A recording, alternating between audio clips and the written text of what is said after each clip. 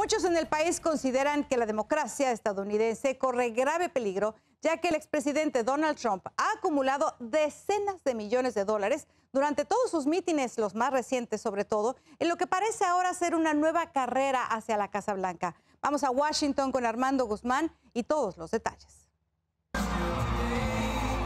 Vean usted, igual que cuando era presidente, y esto fue apenas la semana pasada.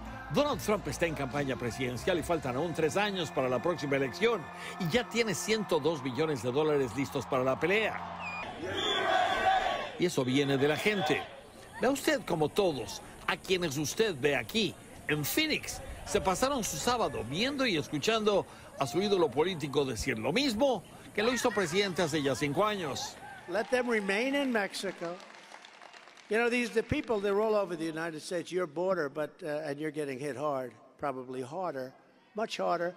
But all over the country, you can go to Iowa, you can go to all over the country. They're being hit, and it's a crime wave. Estas provocaciones causan estas reacciones. She's driving on the grass. This is white supremacy, y'all. Oh, wow. Yeah. Oh. Wow. Oh.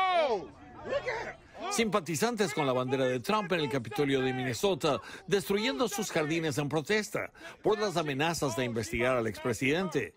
¿Cuándo ha visto usted que la gente común arriesgue tanto para defender así a un político? Trump dejó la Casa Blanca, pero sus seguidores no lo han dejado a él. Esto fue en Michigan la semana pasada. La gente siguiendo a Trump le está dando su respaldo ciego otra vez. This is pretty, my first one. Muchos que nunca han hecho así nada por nadie y que mantendrán su activismo por Trump en el 2022 para las elecciones de medio término. I will never stop fighting to defend constitutional rights and sacred liberties of the American people. I will never stop. El apoyo fiel a Trump de tanta gente no tiene precedente en la política de Estados Unidos. Vean Carolina del Norte, todas las acusaciones contra él. Toda esta gente no las cree. Para los conservadores del país, el futuro sigue llamándose Donald Trump. Y eso a la distancia entre hoy y el 2024 no se ve que vaya a cambiar. Pero mientras aquí quieren encontrar cualquier justificación para condenarlo. Y pronto veremos a allegados del expresidente testificando aquí en el Congreso.